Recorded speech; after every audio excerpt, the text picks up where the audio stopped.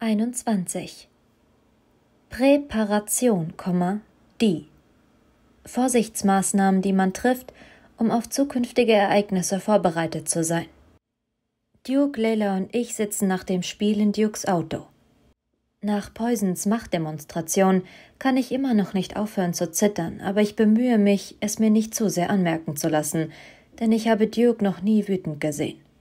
Sein Kiefermuskel zuckt ein paar Mal und er knirscht mit den Zähnen. Und was glaubst du, hat Poison für eine Gabe? fragt Layla. Ich habe noch nie von jemandem gehört, der die Kontrolle über die Muskeln eines anderen übernehmen kann. Seit dem Moment, in dem er mir den Rücken gekehrt und ich wieder die Kontrolle über meine Bewegungen zurückerlangt hatte, versuche ich mir über Poisons Fähigkeiten klar zu werden. Von einem fremden Nervensystem Besitz zu ergreifen, ist eine Gabe, von der ich genau wie Leila noch nie gehört habe. Kann man so etwas erlernen wie Gedankenübertragung und Lichtmanipulation? Oder ist es ein angeborenes Talent? Vielleicht verfügen ja manche über diese Fähigkeit, aber wir haben noch nie jemanden kennengelernt, der sie auch ausübt. Du denkst also, dass er Materie manipulieren kann wie Bobby? fragt Leila. Es war definitiv eine Art von Manipulation, aber ich wüsste nicht, dass Materienmanipulatoren zu so etwas imstande wären. Ich fische mein Handy aus der Hosentasche. Ich muss meinen Dad anrufen. Das hier ist total verrückt. Nein! Leylas Stimme hält mich zurück, kurz bevor mein Finger die Taste drücken kann. Dein Dad wird Fragen stellen. Er wird wissen wollen, woher wir Poison kennen. Und dann wirst du von meinem Vater erzählen müssen. Sie werden ihn verhaften. Ich bin mir ziemlich sicher, dass mein Dad bereits über das Drogenproblem deines Dads Bescheid weiß. Ja, aber das hier ist weit mehr. Was, wenn dieser Typ meinem Dad etwas antut, weil wir die Polizei eingeschaltet haben? Ihre Stimme klingt fest und selbstsicher, aber der Blick in ihren Augen verrät, wie unglücklich und verzweifelt sie ist. Bitte, Eddie, lass uns erst mal probieren, das Problem selbst in den Griff zu bekommen. Nachdem ich Poison gegenübergestanden habe, habe ich nicht den geringsten Zweifel, dass er seine Drohung wahrmacht. Ich stecke mein Handy wieder ein. Okay. Ich bring ihn um, sagt Duke plötzlich. Geht's auch ein bisschen weniger dramatisch? sagt Layla. Wir wissen alle, dass du Eddies Ehre verteidigen willst. Lass uns das Ganze lieber ernsthaft angehen und nicht in irgendwelche Extreme verfallen. Ich meine das ernst. Ich greife nach Dukes Hand. Er verkrampft sich schon wieder, bevor er locker lässt. Als er ausatmet, entspanne ich mich auch. Er hat mir nichts getan, Duke. Es war Leylas Dad, dem die Drohung galt. Ich drehe mich um. Was glaubst du, wie viel Geld dein Dad ihm schuldet? Leila verdreht die Augen. Keine Ahnung, aber egal, womit er gedroht hat. Mein Dad kann ihm nichts geben, das er nicht hat. Das wäre ja, als würde man versuchen, aus einem Normalen ein Talent herauszuquetschen. Was sollen wir denn machen? brüllt Duke praktisch schon. Ihn ignorieren? Vielleicht sollten wir das tun. Ich drücke seine Hand. Ihn ignorieren und ihm aus dem Weg gehen und sein Auto in Frieden lassen. Das letzte ist auf Leila gemünzt. Ja doch, sagt sie. Ich lasse sein Auto in Frieden, aber das bedeutet nicht, dass wir nicht alles versuchen sollten, um mehr über diesen Kerl in Erfahrung zu bringen. Ich will wissen, mit wem wir es hier zu tun haben. Gegen ihn ermitteln. Zufällig kenne ich ein ganzes Team von Jungs, die einen neuen Punching Ball gebrauchen könnten. Es ist seltsam, Duke so aufgebracht zu sehen. Ich habe mich an sein ständiges Lächeln gewöhnt. Nein, Duke, auf keinen Fall. Bitte tu ihm nichts, das würde alles nur noch schlimmer machen.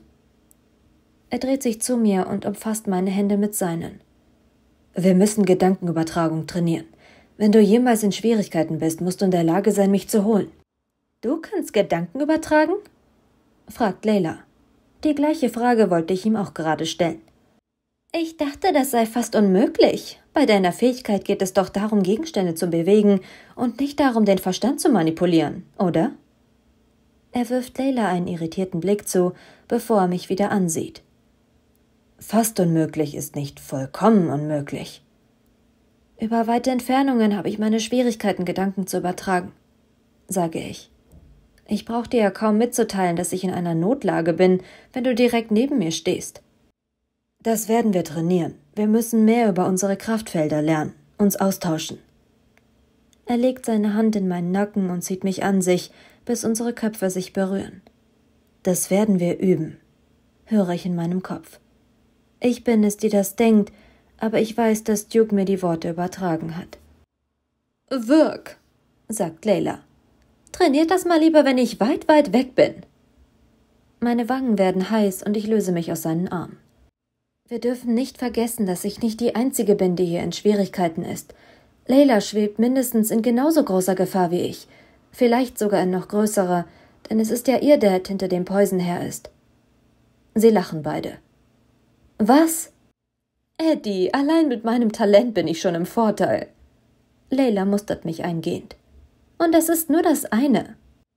Du denkst, dass du stärker bist als ich. Ist das das? Ich weiß es. Na schön. Ich verschränke meine Arme und lehne mich in meinem Sitz zurück. Wie du meinst. Aber wenn du dem Widerling die beiden Alternativen demonstrierst, die er einschlagen kann, wird er mit Sicherheit beeindruckt sein.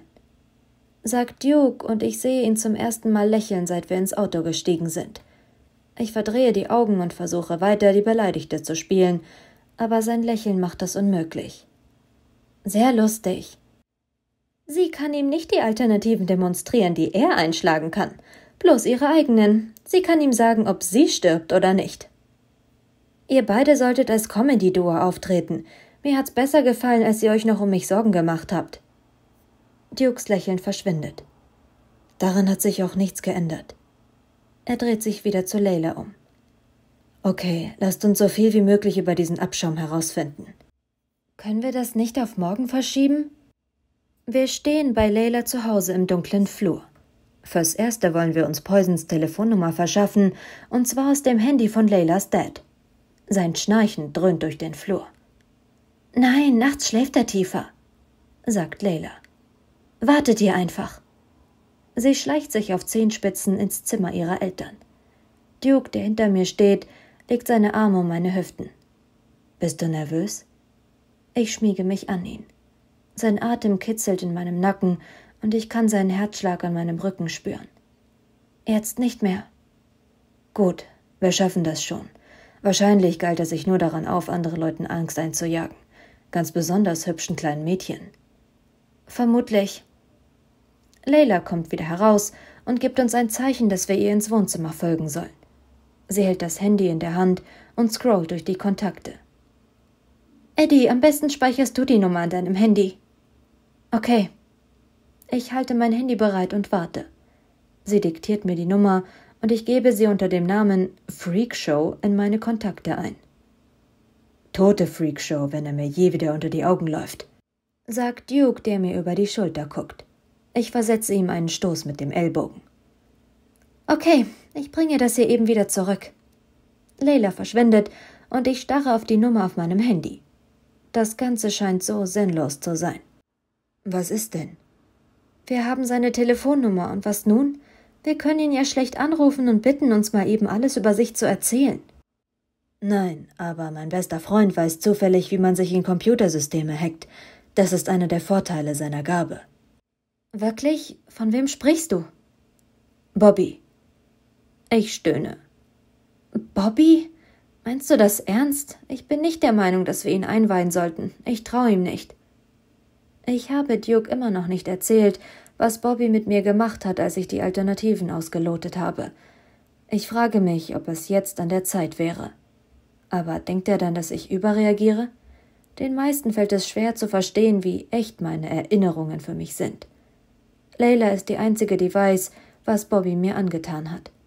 Oder mir angetan hätte.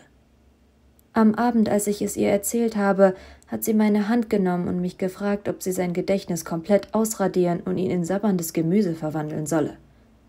Ich habe abgelehnt, aber allein bei dem Gedanken ging es mir schon viel besser. Duke drückt eine Taste auf seinem Handy und dreht es einmal zwischen den Fingern, bevor er es in die Hosentasche steckt. Tja, ich vertraue ihm. Und gerade jetzt könnten wir seine Hilfe gebrauchen. Gerade jetzt? Ich schaue auf mein Handy. Es ist nach elf. Jupp, ich habe ihm eben eine Nachricht geschickt. Bobby bleibt immer lange wach. Leila kommt wieder aus dem Schlafzimmer ihrer Eltern und Duke sagt, wir fahren zu Bobby. Vielleicht kann er irgendwelche Informationen über den Kerl auftreiben. Leilas Blick schießt in meine Richtung. Tun wir das? Sie mustert mich, vermutlich erwartet sie irgendein Anzeichen von Protest. Und eigentlich ist mir auch danach, aber ich zucke bloß mit den Schultern und sage, was Besseres fällt mir auch nicht ein, sonst hätte ich es schon längst vorgeschlagen. Okay, dann los. Wir fahren an Bobbys Haus vor und mir läuft es kalt den Rücken herunter. Außer beim Ausloten bin ich noch nie bei ihm zu Hause gewesen. Als ich auf die große Eiche in seinem Vorgarten starre, überkommt mich wieder die Erinnerung, wie Bobby mich mit seinen Blicken durchbohrt hat, als wir im Auto saßen. Mir fällt ein, dass ich gefragt habe, warum wir vor seinem Haus gelandet sind, obwohl er mich doch eigentlich nach Hause bringen sollte. Meine Ma möchte ich kennenlernen, hatte er gesagt. Oh, okay. Aber niemand war zu Hause gewesen. Es war dunkel und ich fühlte mich unwohl. Wo ist deine Mom denn? Ein leises Lächeln stahl sich über sein Gesicht. Er setzte sich aufs Sofa und klopfte auf das Polster neben sich. Instinktiv wollte ich gehen, aber dann wurde der Blick aus seinen grünen Augen weich. Komm, setz dich neben mich. Ich wollte nicht unhöflich sein, und der Ball war toll gewesen. Ich setzte mich also. Er schlang seinen Arm um meinen Hals, und dann glitt seine Hand sofort hinunter zu meinem Schlüsselbein, streichelte langsam daran entlang und wanderte dann tiefer. Halt, so war das nicht ausgemacht, sagte ich, packte seine Hand, befreite mich aus seinem Arm und hielt seine Hand sicherheitshalber fest. Was ist los? Magst du mich nicht? Seine freie Hand wanderte auf meinen Schenkel und seine Finger gruben sich in meine Haut. Autsch, Bobby, Finger weg! Ich versuchte aufzustehen, aber er hielt mich am Bein fest, legte sich mit seiner Schulter auf mich und drückte mich ins Sofa. Einen Moment lang war ich starr vor Schreck und nicht in der Lage zu begreifen, was hier eigentlich passierte. Er presste seinen Mund auf meinen, grob und gefühllos, während er seine Hand weiter nach oben wandern ließ. Das Geräusch, als der Rock meines Kleides riss, und seine Finger auf meinem Körper befreiten mich aus meiner Erstarrung, und ich verpasste Bobby einen kräftigen Stoß mit dem Knie. Dann raffte ich mein zerrissenes Kleid zusammen und rannte mit brennenden Augen aus dem Haus. Jetzt, als ich mit Leila und Duke im Auto sitze, kommt alles zurück. Ich versuche meine Erinnerungen beiseite zu schieben, als ich aus dem Auto steige. Ich möchte nicht, dass Duke denkt, ich hätte die Sache nicht im Griff. Ich hab's im Griff. Bobby hat keine Macht über mich. Leila muss gespürt haben, wie ich mich fühle, denn sie ist sofort an meiner Seite und greift nach meiner Hand. Bobby öffnet die Haustür, obwohl wir noch nicht einmal geklopft haben. Mir gefällt es gar nicht, wie sein Blick über mich gleitet, als könnte auch er sich an die ausgeloteten Szenen erinnern und würde es jetzt genießen, mich damit zu quälen. Aber ich weiß natürlich, dass er sich nicht erinnern kann. Das Privileg habe nur ich. Bobby geht mit uns in ein Zimmer weiter hinten im Haus, das ich im Gegensatz zum Wohnzimmer, an dem wir gerade vorbeigekommen sind, glücklicherweise noch nicht kenne. Ich habe schon mal mit der Telefonnummer angefangen, die du mir gegeben hast. Sein Name ist Steve Paxton. In einer Ecke des Zimmers werfen lediglich die Monitore der Computer ihr Licht an die Wand. In eurem Haus ist es wie in einem Mausoleum, sagt Leila. Habt ihr keine Sensoren? Sie wedelt mit ihren Händen über dem Kopf, aber nichts tut sich. Bobby, sagt sie verzweifelt, und er zeigt auf die Wand. Sie findet den Schalter und drückt ihn. Als die Deckenbeleuchtung flackernd angeht, atme ich erleichtert aus. Mir war gar nicht bewusst gewesen, dass ich die Luft angehalten habe. Es ist nach elf, sagt Bobby. Ich latsche ja nicht durch ein hell erleuchtetes Haus. Erst recht nicht, wenn ich allein bin. Und was hast du herausfinden können? fragt Duke und zeigt auf einen der Bildschirme, wo ein Foto von einem äußerst zwielichtig aussehenden Poison in einer Ecke angezeigt wird. Bobby setzt sich an den Schreibtisch. Nicht viel. Er ist ein paar Mal wegen Aufputschmitteln festgenommen worden, aber das war's auch schon. Was genau habt ihr euch denn erhofft? Wir müssen wissen, ob er gefährlich ist sagt Duke. Scheint einigermaßen harmlos zu sein, sagt Bobby. Das trifft auch auf Bobby zu, dabei weiß ich, wozu der fähig ist. Bist du dir sicher? Hast du dich nur dort eingehackt? Bobby sieht mich mit zugekniffenen Augen an. Ich glaube, der Polizeiserver ist ein ziemlich geeigneter Ort, etwas herauszubekommen. Aber ich könnte es ja mal in der Bibliothek versuchen, ob irgendwelche Strafgebühren aufgelaufen sind. Wie ich dich kenne, würde dir das bestimmt weiterhelfen. Du kennst mich nicht, sage ich ruhig. Kein Grund, dich hier so aufzuspielen, sagt Leila. Sie hat doch bloß gefragt. Was ist mit Poisons Adresse? Konntest du die herausfinden? Ja. Er holt sich einen Zettel aus der Schublade, schreibt die Adresse darauf und reicht ihn dann Duke. Danke. Duke schlägt ihm freundschaftlich auf den Rücken.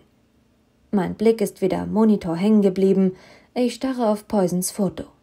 In meinem Kopf spielt sich noch einmal die Szene ab, wie er mich gezwungen hat, vorwärts zu gehen, wie er mich festgehalten hat, ohne seine Hände zu benutzen. Ich begreife das nicht. So ein Talent ähnelt so gar nicht der Gabe meiner Mutter. Sie kann mich davon überzeugen, Dinge zu tun, aber wenn ich mich genügend anstrenge und begreife, was sie vorhat, schaffe ich es auch, mich gegen ihren Einfluss zu wehren.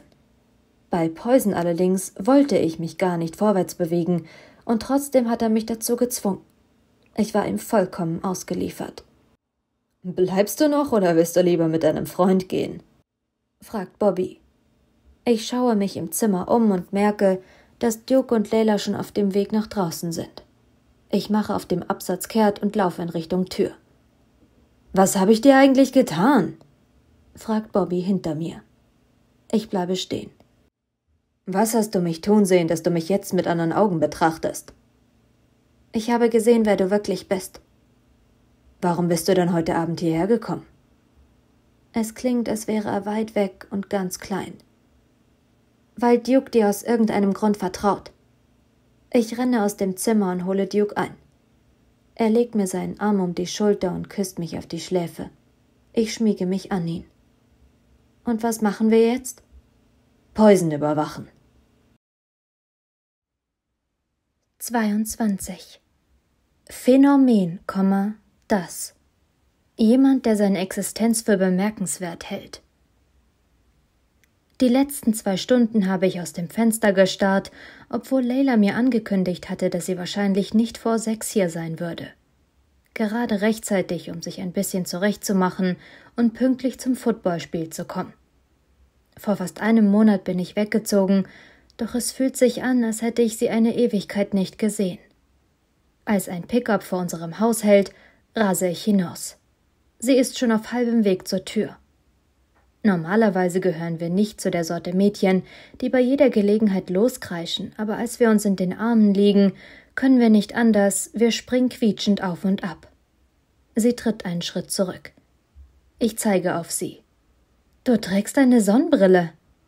Alles hier so wahnsinnig hell ist. Verrückte Geschichte. Ich habe an einer Tankstelle gehalten. Mein Kopf brauchte eine Pause.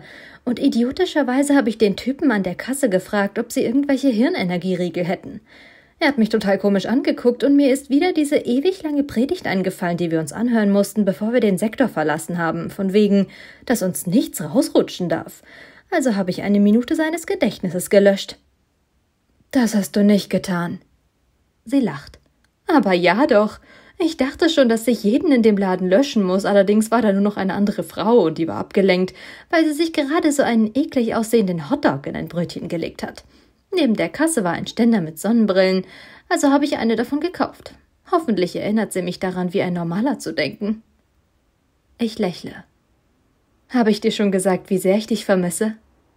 Ich vermisse dich auch. Wann kommst du wieder nach Hause?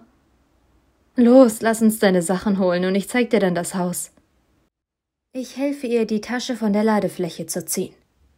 Hast du den Pickup gemietet? Ja klar, ich und meine Millionen.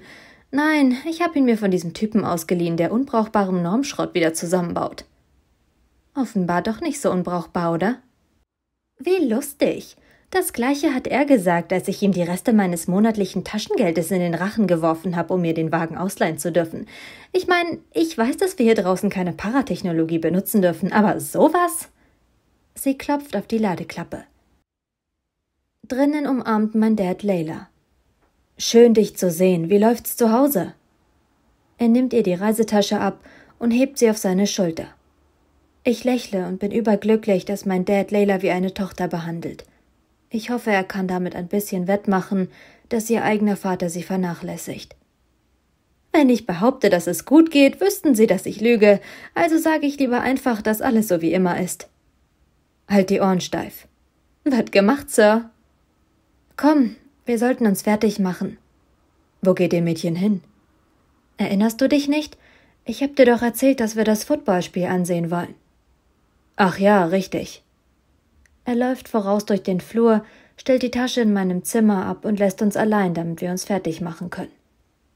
Für sein Alter sieht dein Dad richtig gut aus, sagt Leila und starrt auf die Tür, die er gerade hinter sich geschlossen hat. Wie eklig. Von wegen Vaterfigur. Ich mein ja bloß. Leila stellt ihre Tasche auf mein Bett, öffnet sie und holt einen Stapel Papiere heraus. Sag mir, dass du mich liebst, sagt sie und präsentiert ihn mir. Was soll. will ich fragen, entdecke dann aber, dass es eine alphabetische Auflistung aller Schüler an unserer Schule ist. Neben den Namen sind ihre Talente notiert. Du bist einfach genial. Ich habe die Footballspieler mit einem Leuchtstift markiert. Ich schaue ihr in die Augen. Und? Im Team gibt es keine Materienmanipulatoren, falls einer von denen ihm die Schulterverletzung zugefügt haben sollte. Und wenn ihn jemand entspannt hätte, damit ihn der Angriff unvorbereitet erwischt, dann gibt es nur einen, der dafür in Frage kommt. Einer, der Stimmungen manipulieren kann. Sie nimmt mir die Liste wieder aus der Hand und blättert ein paar Seiten vor. Dieser hier, Andrew. Aber der ist kein Stammspieler. Tatsächlich ist er erst in der neunten. Hattest du nicht gesagt, dass Trevor sich letztes Jahr verletzt hat? Ja, das hat er. Ich schiele an ihrem Arm vorbei auf die Seite. Vielleicht hat der Stimmungscontroller aus dem letzten Jahr seinen Abschluss gemacht. Vielleicht ist Andrew sein Nachfolger. Was hat der Neuntklässler überhaupt in der College-Auswahlmannschaft zu suchen? Er könnte die Emotion des gegnerischen Teams doch locker von der Bank aus beeinflussen. Stimmt. Sie wirft die Liste auf mein Bett. Wir müssen unsere Augen offen halten. Komm, machen wir uns schön. Auf dem Weg ins Stadion laufen wir über den Parkplatz. Leila bleibt vor einem Auto stehen, holt ihren Lippenstift heraus und beugt sich zum Rückspiegel hinunter. Sie knurrt. Ich kann überhaupt nichts sehen. Sie zerrt am Spiegel und die Alarmanlage gilt los. Los, weg hier, sage ich und schaue mich um, ob der Besitzer des Autos in der Nähe ist.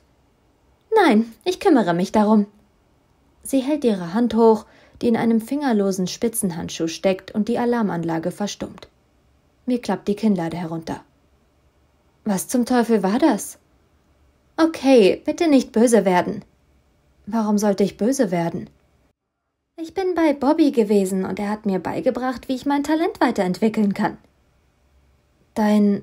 Was soll das denn heißen? Weißt du, so eine Art weiterentwickelte Talentsteuerung. In meinem Kopf tauchen all die Vorträge auf, die meine Mom über die Gefahren von mentalen Experimenten gehalten hat, die noch nicht getestet worden sind. Bist du verrückt geworden? Bist du dir einen Hirnschaden holen? Es gibt einen guten Grund dafür, dass wir die Grenzen unserer Talente erst dann testen dürfen, wenn unser Denkvermögen voll entwickelt ist. Mir ist klar, dass ich genau wie meine Mutter klinge, aber in diesem Fall hat sie recht. Leila lässt ihre Kaugummiblase platzen. Und was für ein Grund soll das bitte schön sein, dass Erwachsene uns kontrollieren können? Sie halten uns einfach nur nicht für fähig, mit den erweiterten Kräften umzugehen. Die denken, dass wir sie missbrauchen würden. Keine Ahnung, wie die auf sowas kommen würden, sage ich sarkastisch und zeige auf das Auto, dessen Alarmanlage sie eben ausgeschaltet hat. Wem machst du das? Ich spüre den Sicherungskasten des Autos auf und lösche die letzten 30 Sekunden seines Gedächtnisses. Sie beendet den Satz mit Anführungszeichen, die sie mit den Fingern in die Luft malt. Ich schaue etliche Male zwischen ihr und dem Auto hin und her. Und das ist noch nicht alles, sagt sie. Pass auf. Sie hält ihre Hände hoch und schließt die Augen. Ich bin mir nicht sicher, worauf ich warte. Das Auto ist ja bereits gelöscht. Dann aber heult der Alarm ganz plötzlich wieder los, der Lärm geht mir durch und durch. Ich halte mir die Ohren zu und die Schultern ziehe ich gleich mit hoch. Leila grinst übers ganze Gesicht und bringt dann das Auto wieder zum Schweigen. Sie zeigt auf mich. Wieso hältst du dir die Ohren zu? Warum hast du den Lärm nicht einfach mental abgeschwächt? Ja, warum eigentlich nicht? Weil ich aus der Übung bin? Keine Ahnung, vielleicht war es der Überraschungsmoment. Ich lasse meine Hände sinken und starre auf das Auto. Meine Gedanken rasen. Hast du eben. Ich habe das Gedächtnis wiederhergestellt. Mein Mund öffnet und schließt sich zweimal, bis ich endlich hervorbringe. Ich hatte keine Ahnung, dass du so etwas kannst. Konnte ich auch nicht. Weiterentwickelte Talent Steuerung. Sie lacht. Komm! Sie zieht mich am Arm und wir gehen weiter. Du hast dich mit Bobby getroffen? frage ich, als ich endlich im vollen Umfang erfasse, was sie mir da eben erzählt hat. Wie hat ausgerechnet er es in ihren neuen Freundeskreis geschafft? Ich weiß, ich weiß. Sie macht eine wegwerfende Handbewegung, als sei nichts dabei. Mir blieb nichts anderes übrig. Mir geht es darum, mich verteidigen zu können. Mein Dad hat so einen gruseligen Freund, der ständig vorbeikommt und meine Mom und mich bedroht. Ich hatte gehört, dass Bobby wirklich gut darin ist, Fähigkeiten zu erweitern. Wir kürzen den Weg zum Footballstadion über das Baseballfeld ab, das im Dunkeln liegt. Jemand hat dich bedroht? Alles in Ordnung? Ja, alles in Ordnung. Irgendein Loser, der sich daran aufgeilt, Mädchen zu erschrecken. Wahrscheinlich fühlt er sich dann stark. Nichts, womit ich nicht umgehen kann. Ich hacke mich bei ihr unter. Sei ja vorsichtig, okay? Bin ich. Apropos, hast du von einem ermordeten Mädchen im Sektor gehört, ungefähr in unserem Alter? Was? Nein. Wieso? Mein Dad ermittelt gerade in einer Sache, aber wenn du noch nichts davon gehört hast, halten sie es vermutlich unter Verschluss. Ein Mord? Im Sektor, bist du dir sicher? Wer ist der Täter? Sie verhören die Verdächtigen gerade. Vielleicht ist das gar kein Mord gewesen. Selbstmord wäre auch eine Alternative. Das würde schon mehr Sinn ergeben. Schlimm das. Aber heißt das etwa, dass du in den Sachen deines Dads herumgeschnüffelt hast? Böses Mädchen. Ich trete gegen den Schotter, als wir auf den beleuchteten Schalter zugehen. Ich weiß, er würde furchtbar wütend werden. Mich überrascht, dass du das vor ihm verbergen konntest. Er hat mir bloß nicht die richtigen Fragen gestellt. Hoffentlich fängt er nicht noch damit an. Am Eingang zeigen wir der Frau unsere Tickets und gehen ins Stadion. Die Live-Musik und der Lärm der Menge lassen mein Herz sofort stärker schlagen. Hey, hey, du grinst ein bisschen geistesgestört sagt Leila. Ich bin aufgeregt, weil du meine neuen Freunde kennenlernst und weil sie dich kennenlernen. Und nicht vergessen. Ja, ja, wir haben noch nie etwas von der Lincoln High gehört.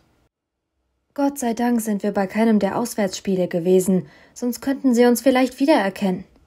Wie gut, dass du so wenig auf die Schulgemeinschaft gibst. Was glaubt Trevor eigentlich, wo du herkommst? Kalifornien? Sie haben aus dir eine Kalifornierin gemacht? Nicht wirklich, aber ich hab's behauptet. Ich bin schon dort gewesen, einmal. Leila presst ihre grell geschminkten Lippen kurz gegeneinander. Und was sagst du, wenn er dich nach deinem Zuhause fragt? Dass die Welt ein Dorf ist? Normalerweise wechsle ich einfach das Thema. Ich greife ihren Arm. Komm, da sind sie. Wir sollten ein bisschen mit ihrem Verstand spielen, sagt Leila mit einem spöttischen Lächeln sie dazu bringen, komische Sachen zu machen. Nein. Ich drücke ihren Arm und zwinge sie, mich anzuschauen.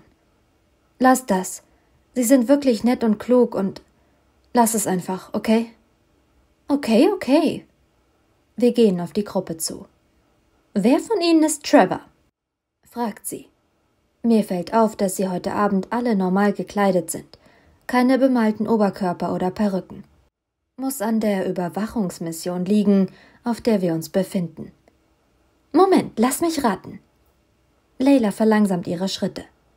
Zu wem würde er die sich hingezogen fühlen? Süß, aber unaufdringlich, schüchtern, dennoch selbstsicher.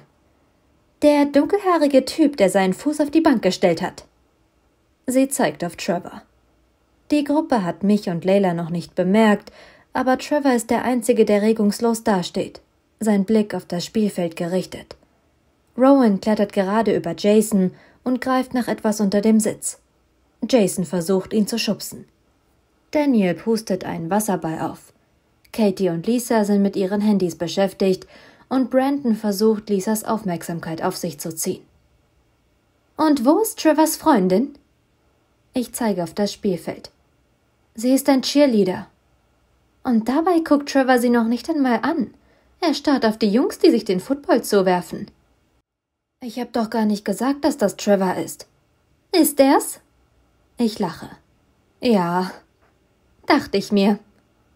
Leila fährt sich durch die Haare, lacht und sagt dann, bringen wir es hinter uns. Wir erreichen die Gruppe. Hey alle zusammen, sage ich. Edison. Rowan springt auf. Er hält eine Schaumstoffhand hoch und haut mir damit auf die Schulter. Wer ist deine schöne Freundin? Du musst Rowan sein, sagt Layla.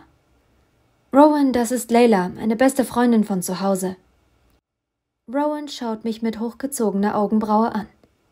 Willkommen, beste Freundin von zu Hause. Du kannst neben mir sitzen. Ich schüttle den Kopf. Rowan, hast du irgendetwas davon im Kopf behalten, was ich dir über Mädchen erzählt habe? Sein gekünsteltes Lächeln verwandelt sich in ein echtes. Ich lerne halt langsam. Ich zeige auf alle anderen, stelle sie vor, und sie winken Leila zu. Meine Güte, Eddie, du hast ja massenhaft Freunde. Wir zwängen uns an Daniel, Katie, Lisa und Brandon durch die Reihe bis vor zu Trevor. Er steht auf. Hey Edison. Hi, das ist Leila. Nett dich kennenzulernen, Leila. Leila nimmt seine ausgestreckte Hand und schüttelt sie. Also du bist mein Rivale. Trevor sieht mich mit gerunzelter Stirn an. Ich werfe ihr einen, na vielen Dank auch Blick zu. Ich habe ihr gesagt, dass ich dich als meinen zukünftigen besten Freund auserkoren habe, aber bei der großen Klappe, die sie hat, drückt die Zukunft näher. Ah, verstehe, sagt er. Ich hatte keine Ahnung, dass ich um diesen Titel kämpfe. Seine Betonung auf dem Wort diesen irritiert mich, aber sein Gesichtsausdruck ändert sich nicht, deswegen komme ich zu dem Schluss, dass ich mir das eingebildet haben muss. Ich denke, ich bin trotz meiner großen Klappe noch im Vorteil, sagt Leila. Du siehst vielleicht genauso gut aus wie ich, aber ich bin stärker. Außerdem kenne ich sie zehn Jahre länger. Noch brauchen wir also nicht zu kämpfen. Das ist gut. Sind die für uns? frage ich und zeige auf die leeren zwei Plätze neben ihm. Ja, ich wollte nicht auf weiteren Todeslisten landen, deswegen dachte ich, ich halte euch Plätze frei. Wir setzen uns alle, Trevor links von mir, Leila rechts. Leila beugt sich vor. Mach dir keine Sorgen, Eddie bellt mehr, als dass sie beißt. Als Leila sich wieder zurücklehnt, taucht Rowan auf, hockt sich vor sie und sieht uns alle drei mit ernstem Gesichtsausdruck an. Operation Lincoln High geht los. Neben mir seufzt Trevor, als hätte er nicht wirklich erwartet, dass Rowan die Aktion durchziehen würde und als wäre ihm erst gerade jetzt klar geworden, dass er sich getäuscht hat. Ich verkneife mir ein Lachen und klopfe ihm auf die Schulter. Wir werden uns nach und nach unter sie mischen und sie unauffällig beobachten, führt Rowan aus. Also, Eddie, arbeite an deinen Flirtkünsten, die lassen zu wünschen übrig. Hey, protestiere ich, obwohl es stimmt. Leila, fährt er unbeeindruckt fort. Du brauchst da nur rüber zu gucken und jedes männliche Wesen, das nicht blind ist, wird nur Augen für dich haben. Leila lacht. Der gefällt mir. Sie nimmt sein Gesicht in die Hände und küsst ihn auf die Wange. Er ist zum Niederknien. Als sie ihn wieder loslässt, verliert Rowan das Gleichgewicht und landet mit einem leicht idiotischen Grinsen im Gesicht und rotem Lippenstift auf der Wange auf dem Rücken.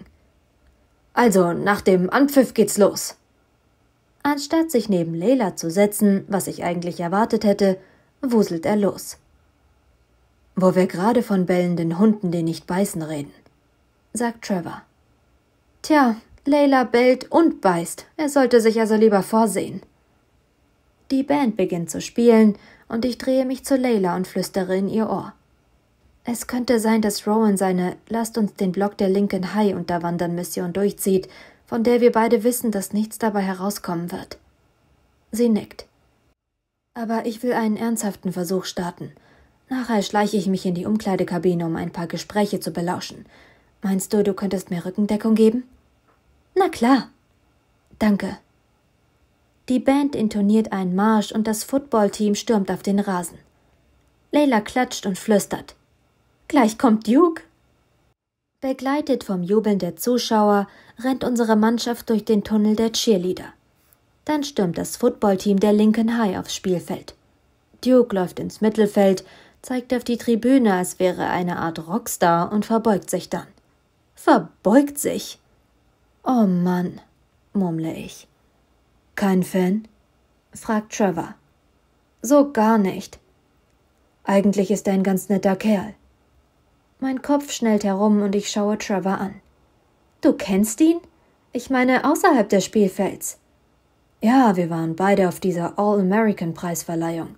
Sie haben uns dann an denselben Tisch gesetzt. Wir haben uns ungefähr vier Stunden über all die Preise lustig gemacht. Insgeheim natürlich. Er deutet mit dem Kopf auf das Spielfeld. Die Teams sitzen jetzt auf ihren Bänken und bereiten sich auf den ersten Spielzug vor. Er ist echt gut. Ich kann verstehen, warum er sich verbeugt. Egal wie gut jemand ist, solch eine Selbstherrlichkeit werde ich nie begreifen können. Hast du dich jemals verbeugt? Ich bin nie so gut gewesen. Aber ihr seid auf derselben Preisverleihung gewesen. Du musst zu einem der Besten gezählt haben. Vielleicht wärst du dieses Jahr sogar besser gewesen als er. Er zuckt mit den Schultern. Meine Zeit damit zu verschwenden, über das Was wäre wenn nachzudenken, hilft mir auch nicht weiter. Leila flüstert. Und das sagt er dem Mädchen, das den ganzen Kopf davon voll hat.